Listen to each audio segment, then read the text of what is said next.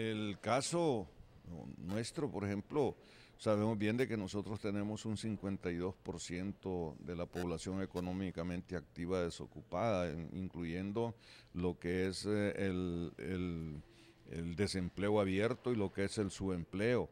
Eh, debemos revisar en la economía informal qué es lo que está pasando sobre este mismo tema y además qué es lo que sucede realmente con los jóvenes.